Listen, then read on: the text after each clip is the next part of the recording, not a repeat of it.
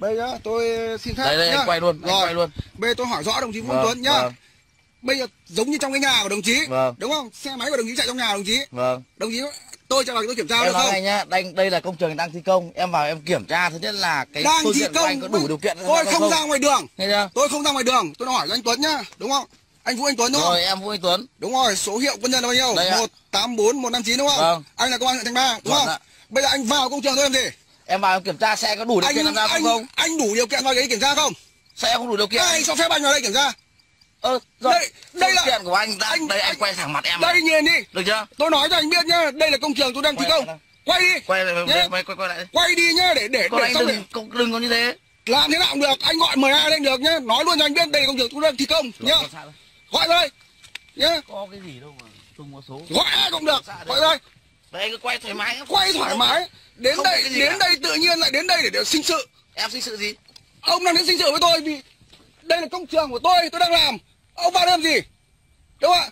Em nói với anh tôi duy nhất tôi Em- duy nhất là tôi chỉ thiếu mỗi cái biển là công trường đang thi công Không, phải đội cấm vào đúng không? Ông chứ ông vào làm gì? Tôi chưa làm mà tại ông tại sao ông lại vào đây làm gì? Ông lại đòi ông kiểm tra kiểm tra cái gì đây tôi làm tham gia giao thông không tham gia giao thông.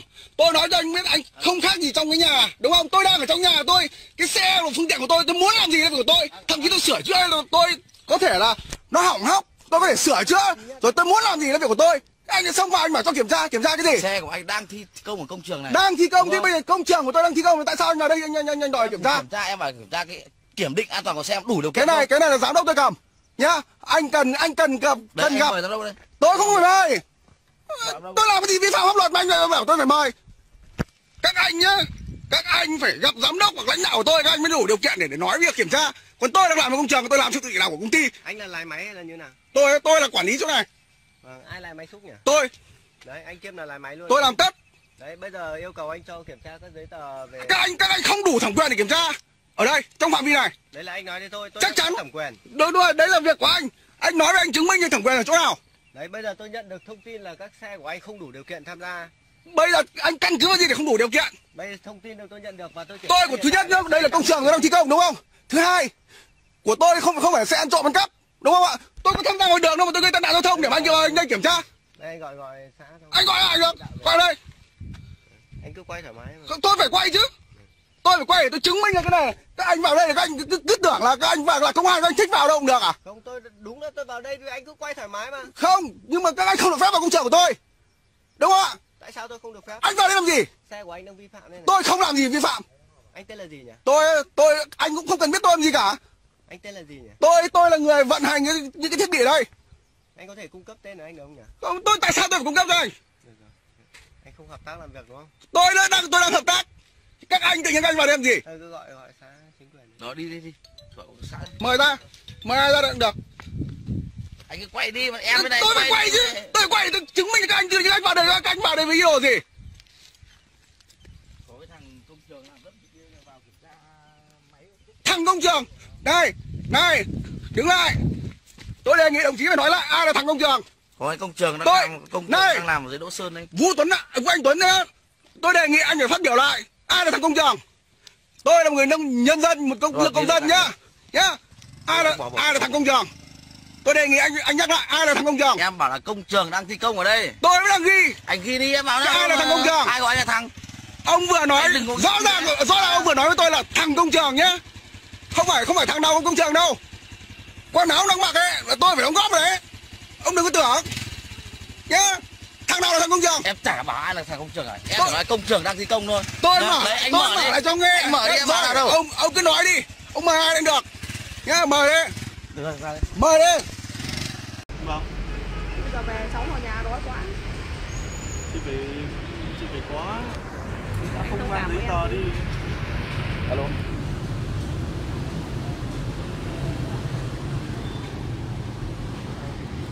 Ờ đúng rồi.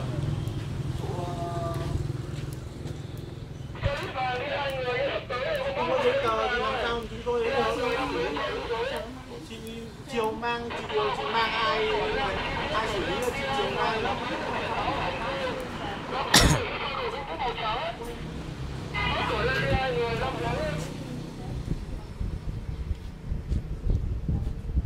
có có có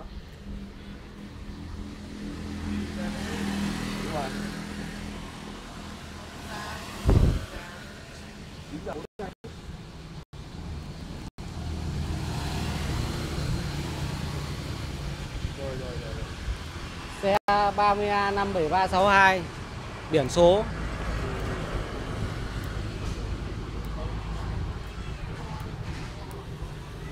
chín giờ 42 phút Từ 9 giờ 40 tôi đang nói chuyện đoạn riêng của tôi À vâng, thì em nói chuyện bình thường em nói chuyện với anh đâu? Em đang nói chuyện bình thường nói chuyện với anh đâu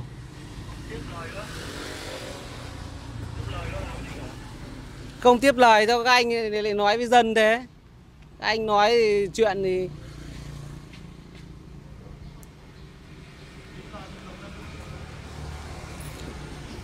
Nếu bây giờ các anh không có bằng chứng thì để em đi Chứ em không để thời gian này đâu.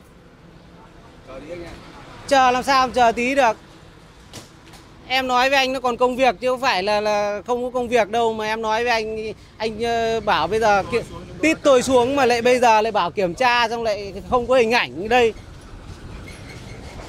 Anh làm ăn thế bây giờ bảo chờ chờ làm sao được?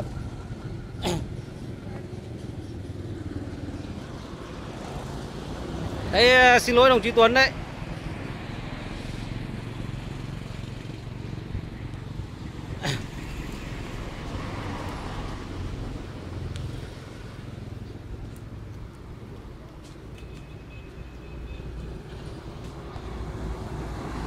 Mười sáu a hai tám tám.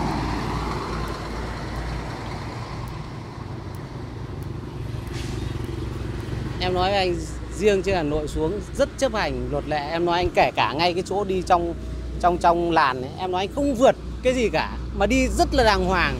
Anh em nói chung là rất để ý xuống Hải Phòng rất để ý cái chuyện tốc độ và rất để ý làn. Ngay cả xuống đây em bảo "Thế sao lại các anh như vậy? Bảo thôi được rồi cứ dừng đây để xem là em bị lỗi gì mà xe em nói với anh em đi 50 tức là không đến 50 còn 45 Anh cứ bình tĩnh làm việc với anh em làm sao mà anh em đã căng thẳng như anh chưa mà anh cứ căng thẳng đấy. à không thì đây là anh em nói chuyện. Ừ, tức là chuyện tức là anh em nói chuyện anh Dương ạ. Tức là anh em nói chuyện chứ không phải là là căng thẳng gì cả. Anh mong mà anh vào ghế ngồi nói chuyện vâng đàng hoàng. vâng